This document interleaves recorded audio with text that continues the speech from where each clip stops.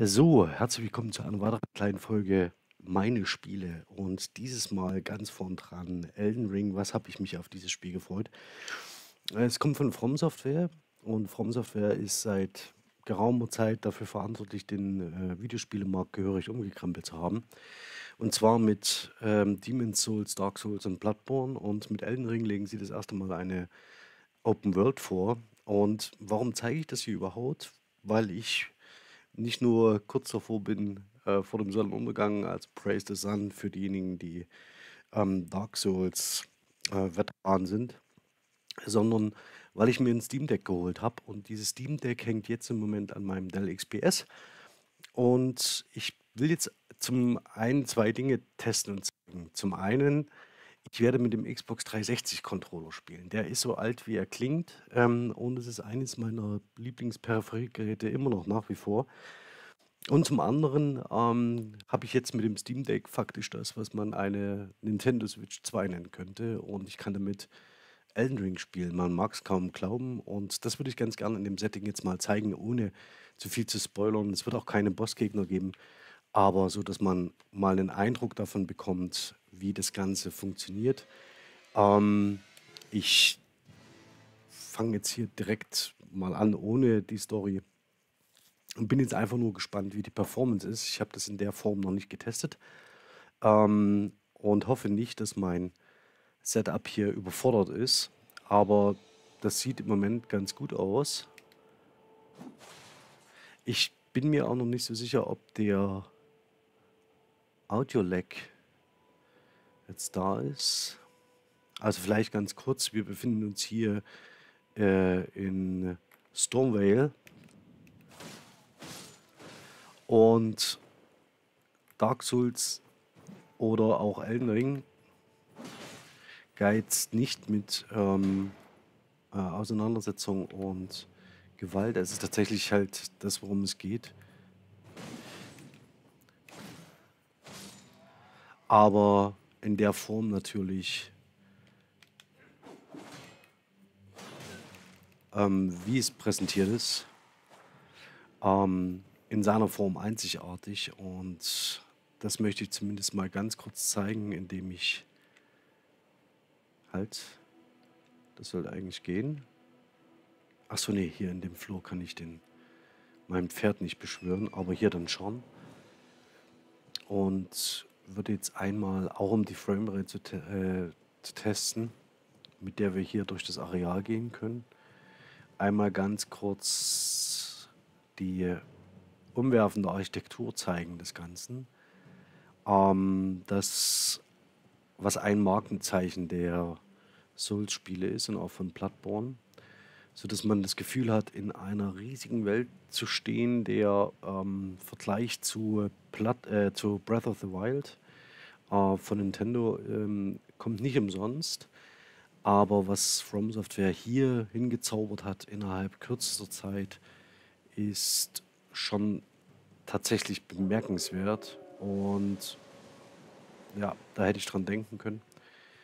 Und ist eines der Spiele oder ist vielleicht sogar mein Spiel für dieses ganze Jahr. Also um das mal ganz vorsichtig auszudrücken.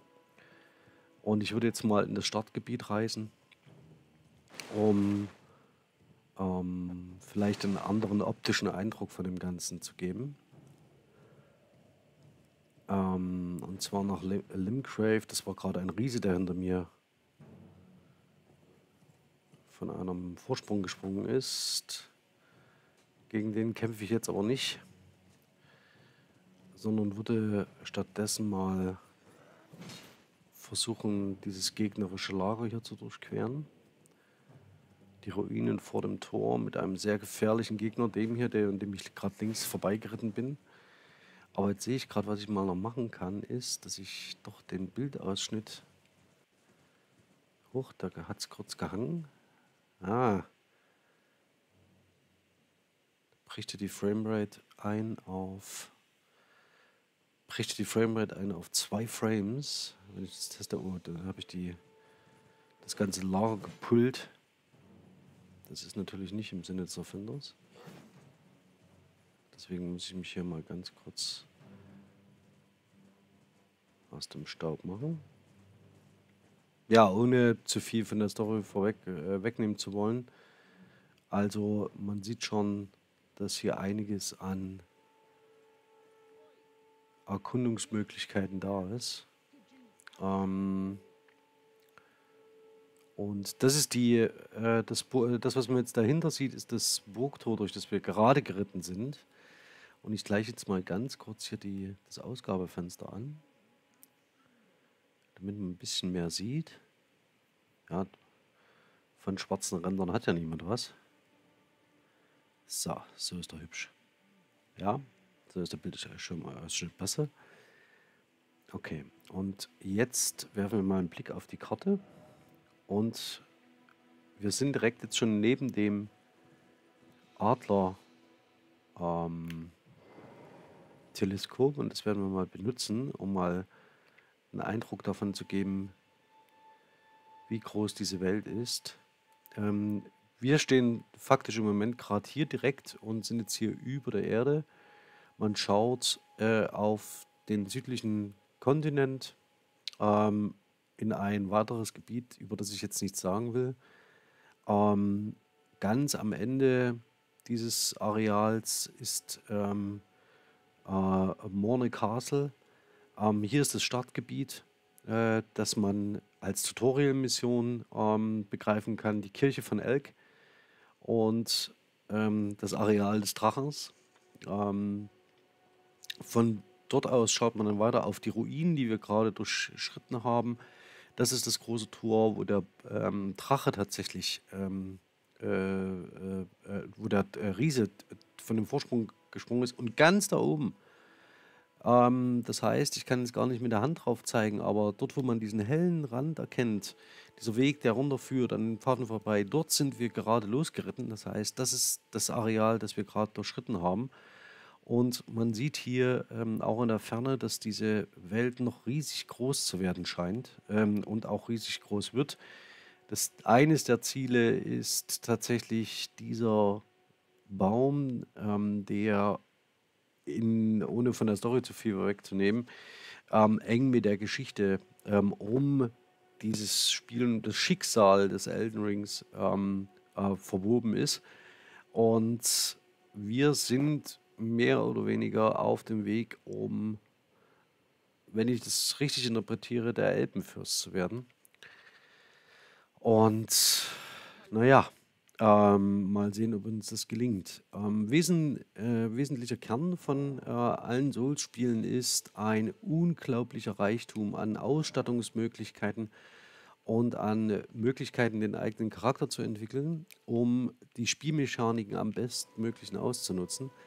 Und das will ich vielleicht mal ganz kurz hier zeigen. Das heißt, ich bin jetzt äh, Stufe ähm, 28 ähm, und habe folgende Attribute ähm, bevorzugt gelevelt, nämlich Kraft und Kondition, Stärke und Geschick.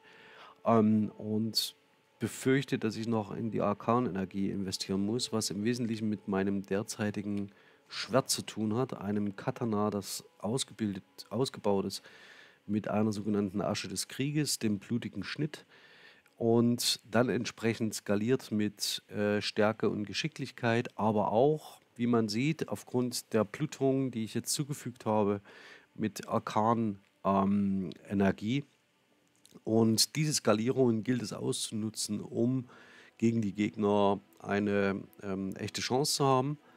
Und das versucht man so weit wie möglich voranzutreiben. Wenn man so will, ist es ähm, das traumgewordene Rollenspiel für diejenigen, die Herausforderungen ähm, zu schätzen wissen. Es ist definitiv nicht für jedermanns Sache.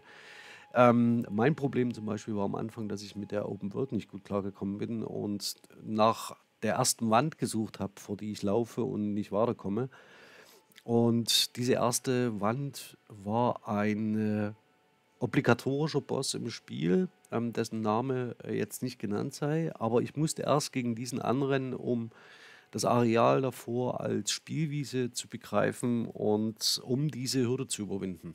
Und für diejenigen, die es vielleicht, denen es vielleicht ähnlich geht, als mit dieser Open World, Elden Ring Open World, ähm, versucht das ruhig, dass ihr versucht, zu diesem ersten storyrelevanten Boss zu kommen und zu sehen, ob ihr diesen bewältigt. Und wenn nicht, benutzt das Areal in Limgrave und ähm, Umgebung, um euch an diesen ersten Boss heranzuleveln und dann ab und an wieder ähm, gegen ihn zu kämpfen und zu versuchen, das bestmöglich daraus zu machen. Gut. Das soll es ähm, gewesen sein mit einem Eindruck zu Elden, kurzem Eindruck zu Elden Ring. Es ist wirklich ein fantastisches Spiel. Es wird mit großer Wahrscheinlichkeit mein Spiel des Jahres 2022. Und ähm, das Spiel, ähm, das ebenfalls für mich eine große Rolle gespielt hat, nämlich Hades, wird gerade auf Steam Deck installiert. Also war eine super Anschaffung. Elden Ring auf äh, Steam Deck, dass es jetzt hier zu Framerate-Einbrüchen kam, äh, lag, äh, kam, lag nicht äh, am Steam Deck, sondern eher hier an dem Dell XPS. Aber da muss ich einfach nochmal schauen, was da der Hintergrund ist, sodass ich vielleicht auch irgendwie mal länger streamen kann aus Elden Ring. Ne? Ich überlege, ob ich das tue. Also bis dahin, schönen Abend und auf ganz bald. Ciao.